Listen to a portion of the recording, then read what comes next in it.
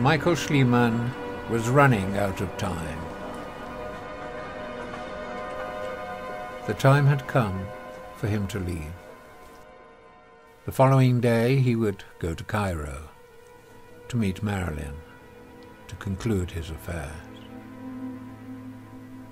After that, he would go to the snow country, to the mountains in North Japan. And there, alone, under the light of the aurora borealis, he would complete his unreliable memoirs, which he might call the dissonant memoirs of a disinformation agent. And then he would disappear.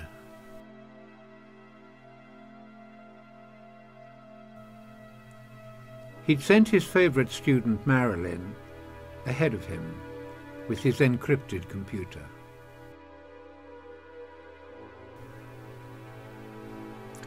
But his ex-controller at MI6, Maxa, had persuaded him to accept a final assignment. A problem with French intelligence. Schliemann accepted the project because he'd read some of the secret files slipped to him by Maxa. He'd read Lenoir's manifesto and knew it made complete sense. He decided he'd like to meet her. There were too many coincidences in her story and his own. Good evening, Miss Lenoir. Thank you for coming to see us again. Miss Bishop. If he could warn Lenoir, it would be an ideal revenge for him against MI6, many of whom he considered as more fanatical than the terrorists they were trying to expose. He was anyway seriously ill, three months to live at best. Before he died, he was determined to expose details of secret assassinations he had been involved in. But MI6 had arrested Marilyn in Cairo with his computer. Schliemann knew nothing of this, or that Maxa was trying to unravel the webs of his conspiracy of texts. MI6 were worried. How much damage could they do? Maxa was unaware that Schliemann had decided to go underground in Vienna to find Lenoir and warn her that French and British intelligence had penetrated her emails and were closing in on her, and quite prepared to kill her before more agents were shot.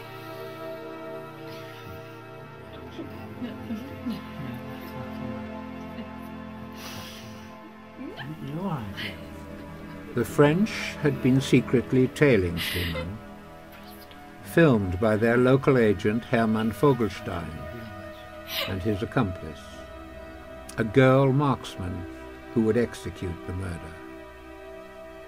Their plan was to wait until they were sure Schliemann had found Lenoir and kill them both.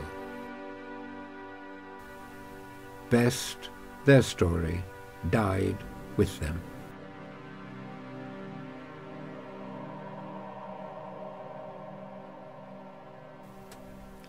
Lenoir's exposure in Paris of their disinformation tactics, working in hand in hand with the media and wealthy corrupt politicians to terrorize the people, had caused them much bitterness.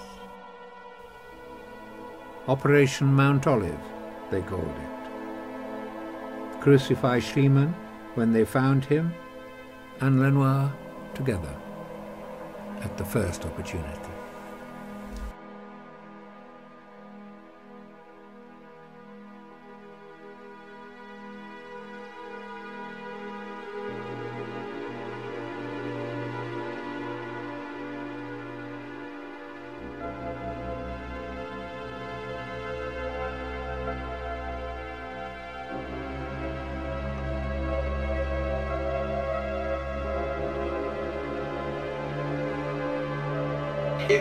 Routine experiment. Monsanto modified wheat, planted in Mexico for testing, that can only grow with its AIGG insecticide. Considered to be statistically a virtual impossibility, though there is always a small margin of unpredictability and possible human error, we could not have foreseen the invasions of wind-borne retroviruses on freak spring El Nino-generated monsoons, viruses incubated in the nasal passages of genetically modified cotton boll weevils, the cotton plants fertilized by ground-up British, almost certainly BSE-free, meat protein, banned by the rest of the world for all animal consumption, but mixed with genetically modified molasses and discarded genetically modified soy leaf and molasses. Discovered to be an ideal plant nutrient in Colombia, especially cocoa plants, and illegally sold to Mexico. Only as an easy cover for money laundering, a wind-borne retrovirus that destroys any animal immune system in three days, impossible, said the Bush administration experts. It defies reason.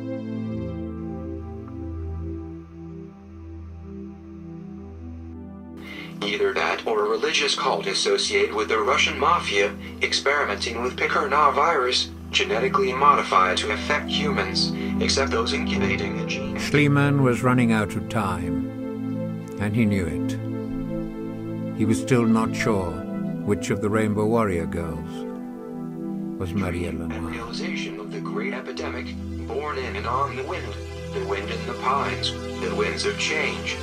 Maria's dream.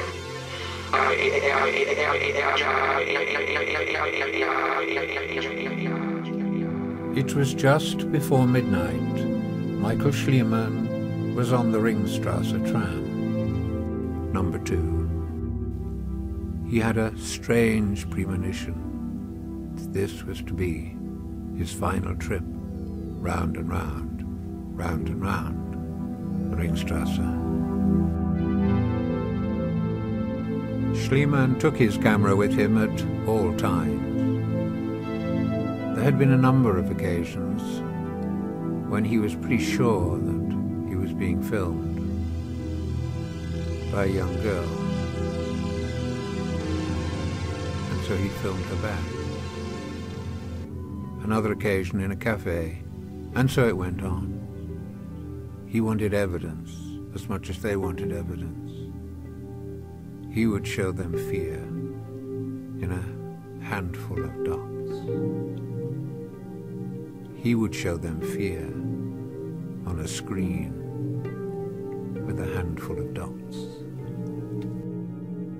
He'd sent all the film he'd been making to Marilyn in Cairo. He wasn't sure why, but she said she perhaps would make a film out of it. He knew that he was near the end of his journey. There were times when he felt that the body of the tram was his own body. Speaking to him. Welcome to the machine. Speaking to him. Welcome to the machine. Speaking to him. Welcome to the machine.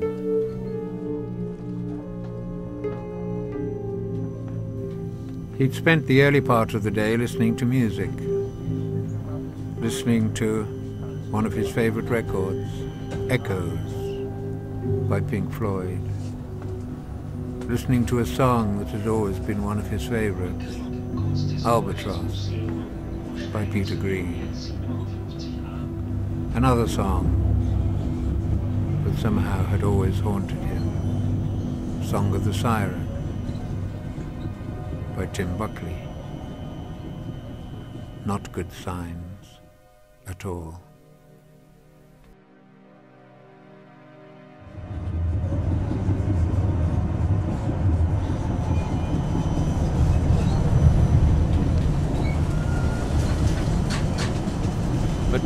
Schliemann was running out of time. He knew that if he couldn't decide which of the girls, which of the Rainbow Warriors was Maria Lenoir herself, he would not be able to prevent her, to stop her, from attempting the assassination of Nightingale.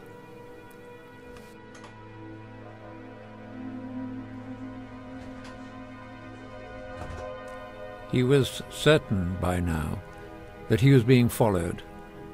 There had been too many coincidences.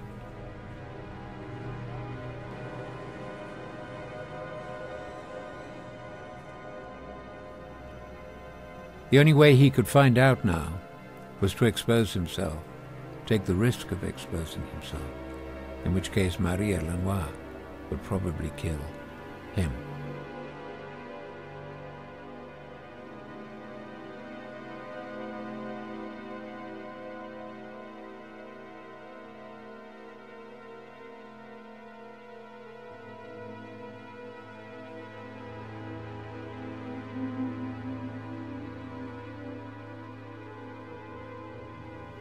Girl on the tram may have shot Schliemann.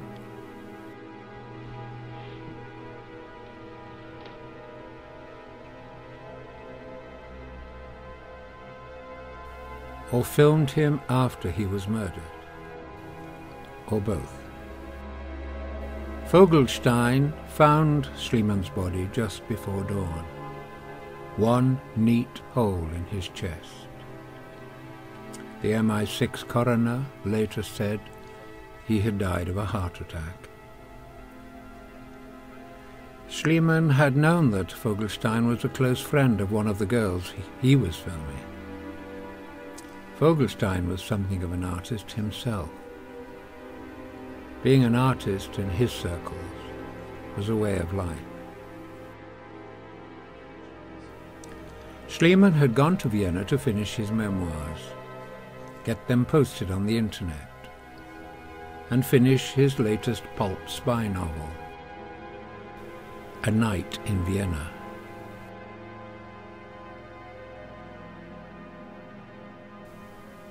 And die. so he put some music so, and said to do something. I was, I was painting like two hours for my old man. He was kind of physicist and uh,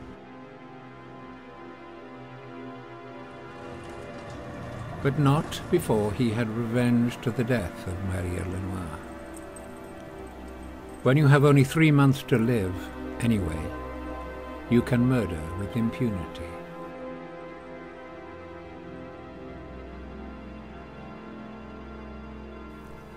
Maria's mother was Nora, Nora Flood. She had been an anarchist in Paris in 1968. It was she who had thrown the petrol bomb through the window of the TWA offices in Place de l'Opéra, triggering the May Revolution. She'd had an exhibition of photographs of the splintered windows. A fatal mistake. She was forced to flee. She fled to Cairo, where she became active in an eco-anarchist group. Maria's father was probably Hermann Nachtigall, French intelligence agent sent to find her. But it may have been Michael Schliemann. Later, it was Nachtigall who arranged for Nora to disappear. So much was known by Michael.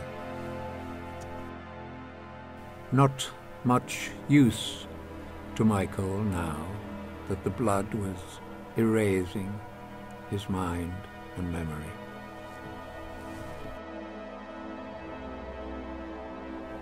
One of Michael Schliemann's bevy of actresses, a dancer, disappeared on the night of his murder. MI6 and French intelligence separated by their profound mistrust and mutual interest in the Nightingale story, decided not to reveal the truth to each other or to themselves.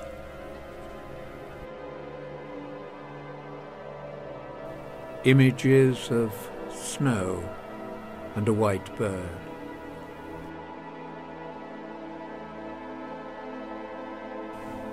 a white bird circling, circling above him over a silent blue sea.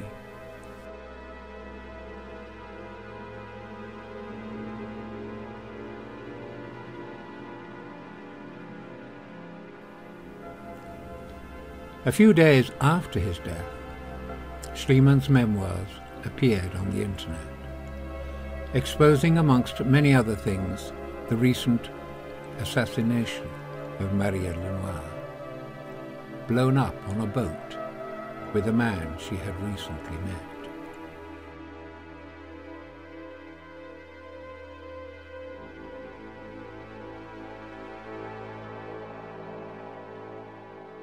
But the Rainbow Warrior girls had a plan to murder Nightingale. Blown up at a musical event, probably in Vienna.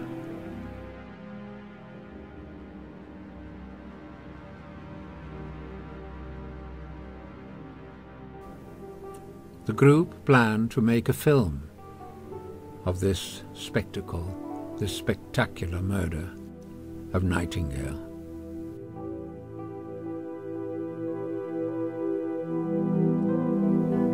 But there was other news. The agents sent to Cairo arrested Schliemann's student Marilyn, and she was sent back to London. Data suggested she might be a Russian agent working for their anti-terrorist wing. Both girls had the same name. This Marilyn was clearly studying illegally in the United Kingdom. She had very good references, it seemed, from Michael Schliemann. But they had decided that this girl was Maria Lenoir. They raided her rooms in Cambridge and found an unfinished novel she was writing called The Memoirs of Maria Lenoir. They also found a copy of a novel by Nora Flood called Nora and, heavily underlined in red ink. She had a CD of songs, punk rock songs, sung by Who Killed Bambi.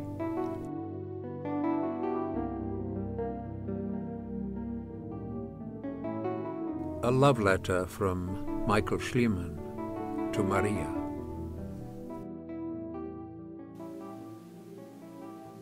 Who is Matthew Sutherland? Is he not related to Yoko Shima, your friend? Well, you seem to know everything. Why are you asking me? Why? What makes you think it's everything? Everything about what? About the murder of the two agents, as you're saying. You know, I always try to respect authority. It's part of my split nature. As I respect and love intelligent authors who use words to imagine other worlds, not rape this one as you seem to be hell-bent on doing. Especially the authors of some serious pulp fiction novels that study the point at which innocent people become criminals, quite despite themselves, victims of the state. And this love of mine of these books, it's a second nature to me. I don't suppose you would ever comprehend what the word nature means, would you? Do you know that my nickname is Nature's Child? Are you, have you heard of that? Given to me by the old Nick, perhaps?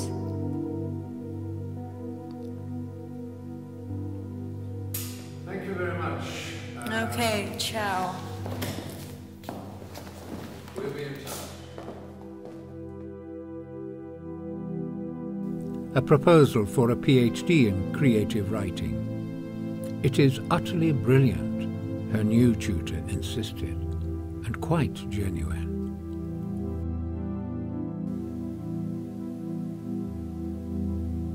Where?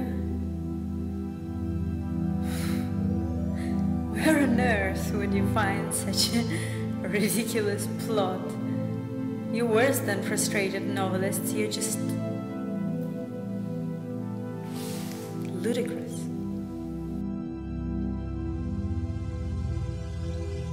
Meanwhile, in Vienna, Vogelstein had arrested one of the girls, an opera singer, and found a laptop computer there, obviously belonging to Michael Schliemann. With a little persuasion, they found the code word. In London, Maxa had the laptop that had come from Cairo with Marilyn. She soon realized that they were almost identical, but only almost identical. That all the texts were just slightly different. And she soon realized that the meaning, the, the only way to decode Schliemann's obviously corrupted texts was to realize all the subtle differences between the one and the other. This observation was later to earn her an MBE. One laptop was numbered number two. The other laptop was numbered number one. When she finally went to the website hidden on the net, she found that that too was a different variation.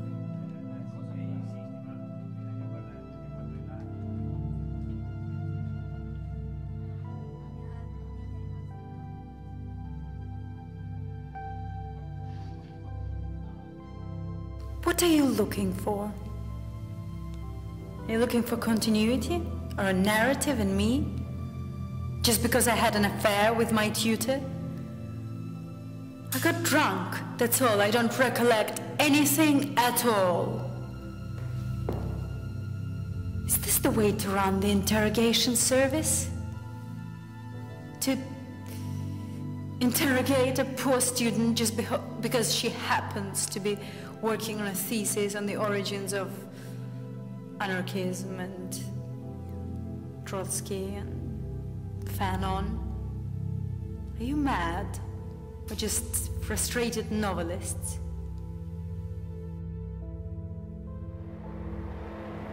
Hello?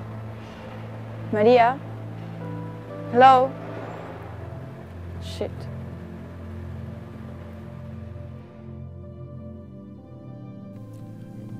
On the laptops were two texts, a chapter from a novel called Nora And, set in Paris during May 1968 and during the Revolution, and the other in Cairo.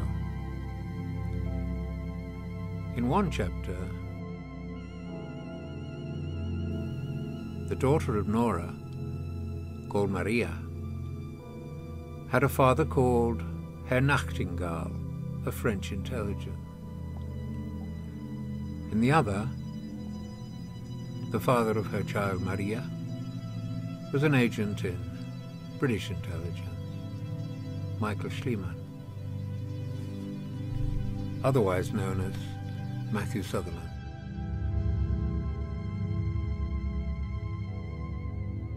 In Maria Lenoir's memoirs, it was made perfectly clear that Herr Nachtingale, head of French intelligence in Cairo, later became the director of a number of projects for French intelligence in Paris. The most important one being the assignment of five agents to New Zealand to sink believe it. You remember I told you about the Rainbow Warrior boat, the Greenpeace boat, in Japan. How in we let which them grow up Fernando Pereira tallest of the pine trees. was drowned. Well, I, I found one here. Yeah, it's, it's been left to grow wild and it's interwoven French and British intelligence like agreed to make all references to any of Michael Schliemann's story our are symbolic trees. other than the so-called fictions or the fictions that were so-called reality or whatever. Any reference to Schliemann's story, facts, coincidences, oh, probably. Any reference would be to imply that they were accomplices in terrorism. What? The speech again.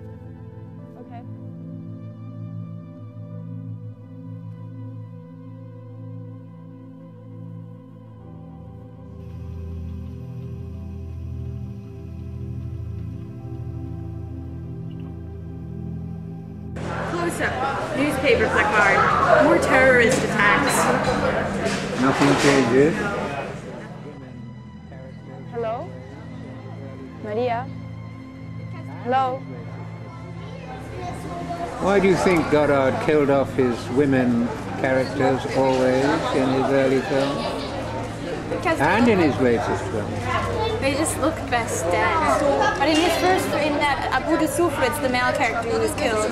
And then there's that famous scene where she says, C'est quoi, dégueulasse? Say that again, what? Every black-haired woman I see, I always think it's Anna.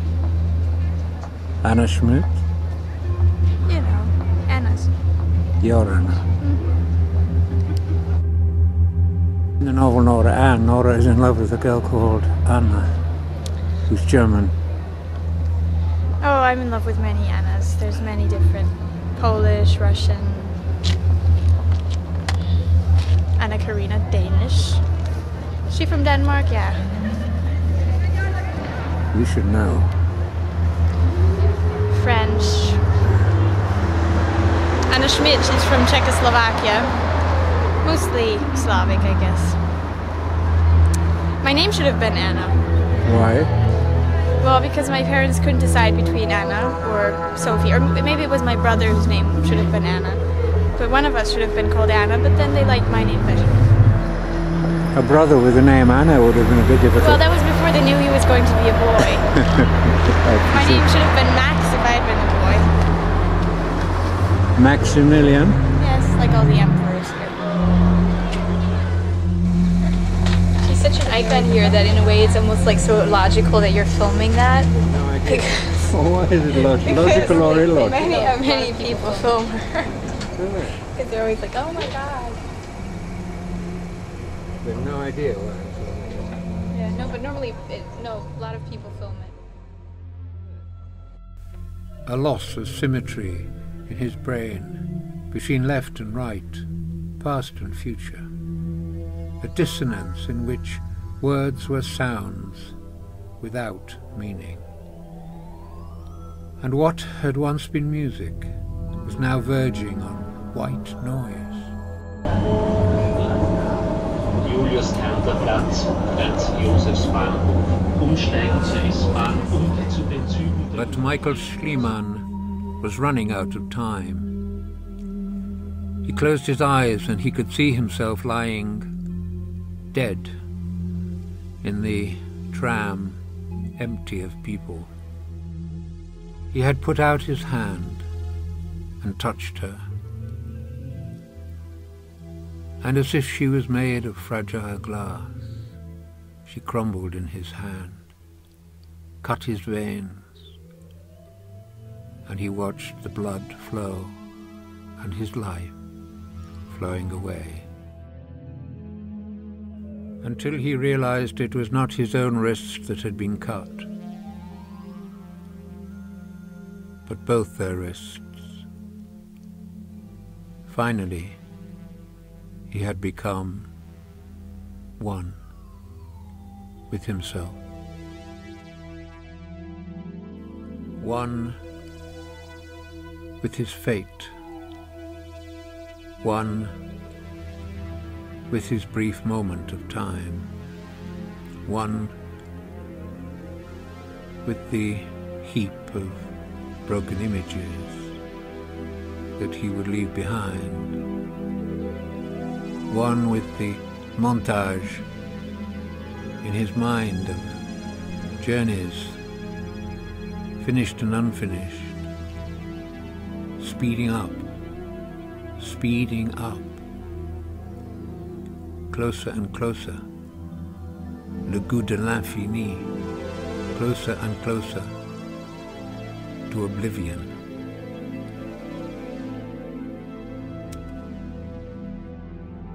And then he remembered the last text he'd been writing, his last novel, The Girl on the Train, which he'd set in the snow country in Japan. Someone else was reading it to him, almost as if he had written it, not so much for others, but for himself. It was in his own way, a book of the dead.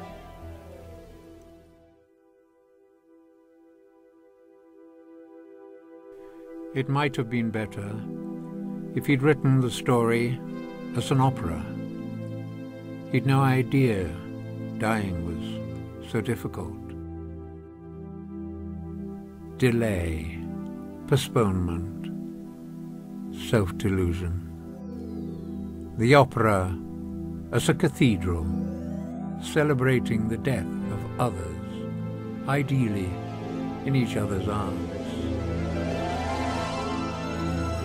Such a subtle form of emotional and psychological terrorism.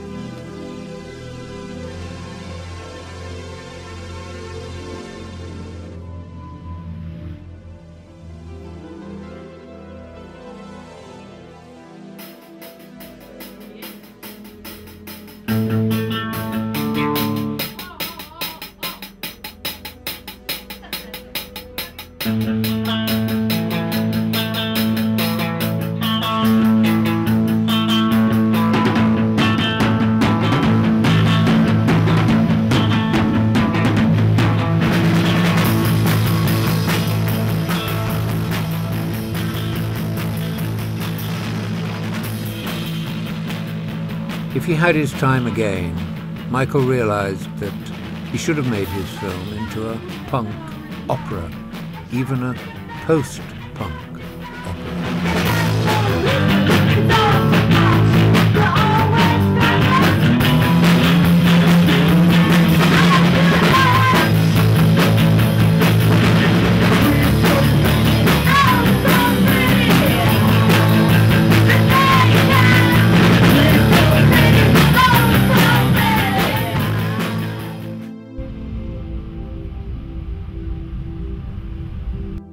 based on Hermann Hesse's Steppenwolf, put on in the Burg Theatre with the punk rock group Who Killed Bambi. He could see it in his mind, in his mind's eye.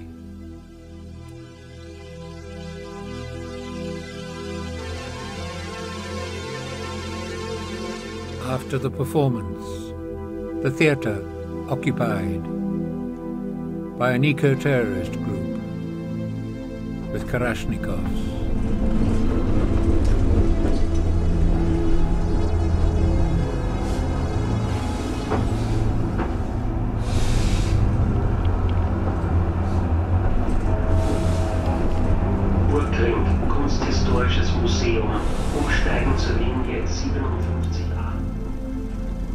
Short time after Michael had died, he seemed to be still thinking. He could hear the wind also. He was remembering that the day before he had been filming with Maya at the museum. She'd been talking about opera.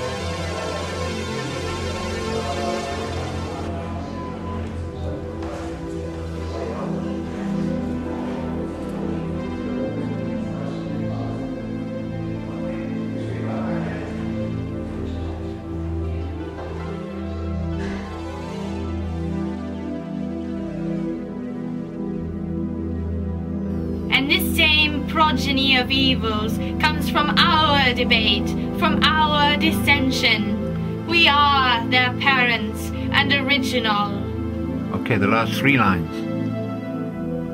Go back two more. And and the mazed world by their increase now knows not which is which. Excellent. If you can do that again. Yes, Rasni. And the mazed world by their increase now knows not which is which. And this same progeny of evils comes from our debate, from our dissension. We are their parents and original. But Michael couldn't understand. The film he was watching in his mind was going backwards, or part of it was going backwards, half of it, as if half his mind, half his brain was looking forward, half his brain was looking back, and he was falling, falling, falling into the, the split between the two. And the words of Maria telling him about entanglement, entanglement of two events which appear to be split in time and space, holographic time and space, can become unified in a moment of death, perhaps, sometime soon he would perhaps understand what Maria meant in her writings about her suicide.